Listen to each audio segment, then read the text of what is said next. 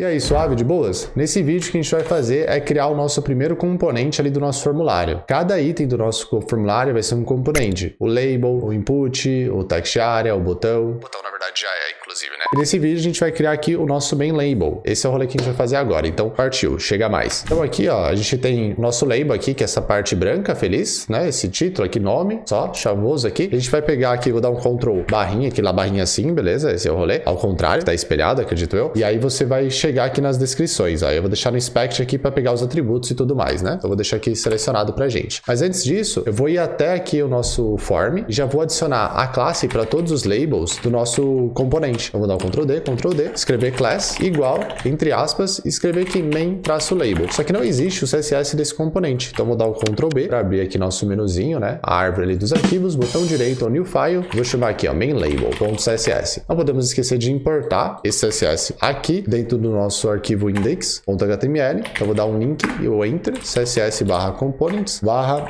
main traço label. Pronto, isso é o suficiente. Agora sim já está funcionando esse label, mas infelizmente, se a gente abrir aqui projeto... Opa, eu fechei sem querer, deixa eu clicar em Live aqui. Para já startar, vou copiar aqui, fechar o nosso Brave e deixar no nosso Firefox, que eu prefiro. Para codar, eu prefiro usar o Firefox né, na felicidade. Então aqui embaixo, ó, a gente pode ver que não mudou nenhum tipo de comportamento. A gente tem que mudar esse tipo de comportamento deixando branco ali, né? Deixando de fato na cor branca. A primeira coisa que eu quero fazer. Então eu vou fechar aqui, pronto, já fechei ali. Modalzinho que abriu aqui por conta de você subir o seu site ali usando o live server que a gente está usando. Vou dar um ponto main, traço, label. Abre o bigode, fecha o bigode e vou mudar a cor para branco. Então é lasanha é FFF. Já expliquei como funciona aqui né, o sistema de cor e o sistema numérico, bem tranquilo aí. Caso você não lembre, é bom você dar uma visitada. E tá aqui, ó, já tá branco, ó. É pra gente passar o mouse em cima, a gente consegue ver ali que já está branco e está funcionando bonitinho. Então pra gente conseguir enxergar as coisas, o que, que eu vou fazer por enquanto? Eu vou definir a cor do fundo do form inteiro. É, vai ficar meio tosco, mas pra gente conseguir enxergar. Da cor que está aplicada aqui nessa seção. Então eu vou selecionar essa seção aqui. Cadê? Ah, aqui, ó. É essa cor aqui, acredito eu, né? Ah, vou pegar aqui que é mais fácil pelo design, ó. O design acho mais fácil pegar essa parte. Deixa eu ver aqui se a gente consegue. Ah, olha que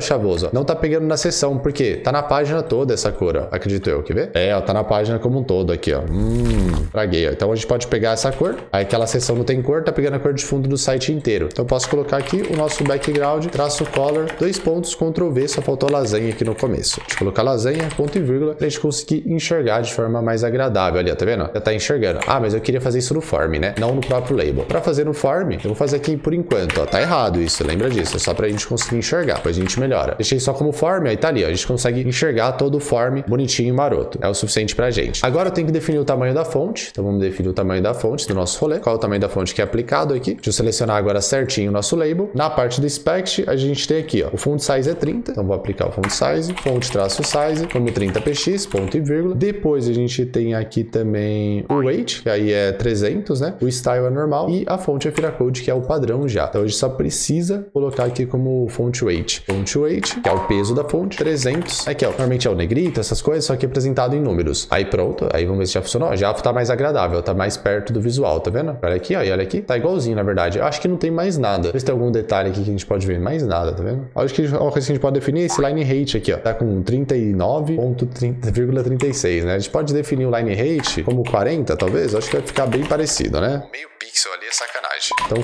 40px, salvou, aí a gente volta ali, ó, e só tem o tamanho da linha, que na hora que a gente for colocar exatamente o input embaixo, como tá aqui no nosso layout, esse tamanho da linha já vai dar o espaçamento adequado, não vou precisar colocar uma margem na parte inferior, isso ajuda bastante. Ou se você preferir, você pode colocar line height com o mesmo tamanho da fonte, aí vai ficar bem próximo à altura, é o tamanho da linha ali, e aí depois tem que colocar a margem na parte inferior, é uma estratégia mais sua, aí você tem que definir a sua estratégia. Eu prefiro fazer desse jeito, né? Onde eu já defino o line height, aí eu já consigo dar o espaçamento adequado, que normalmente o label só é uma linha mesmo. É difícil você achar labels que tem duas linhas e um input, né? É normalmente uma pequena descrição sobre o que você tem que colocar dentro do input, dentro do campo que vai ser preenchido pelo usuário. Então é bem tranquilo. Agora sim, agora a gente tem um layout finalizado. Lembrando, ah, nossa, eu viajei aqui, né? Tudo isso daqui, ó, na verdade é na parte de baixo, ó, lá. É todo no main label. Lembrando que esse form aqui que tinha aqui em cima, ó, ele é apenas temporário. Depois a gente vai setar isso no próprio componente de form, tá bom? Depois a gente tem que lembrar de apagar esse rolê. E lembra, todo arquivo do componente apenas pode ter coisas do próprio componente, para ficar fácil dar manutenção e tudo mais. Aqui a gente fez temporariamente, temporariamente, só para conseguir enxergar a nossa fonte aqui, branquinha, chavosa, beleza? Acho que é isso, né? Tem mais nada para falar não, é só esse rolê. Então valeu aí, brigadão, é isso que eu queria te mostrar nesse vídeo, só, não é nada. Então vai lá, bora pro próximo, partiu!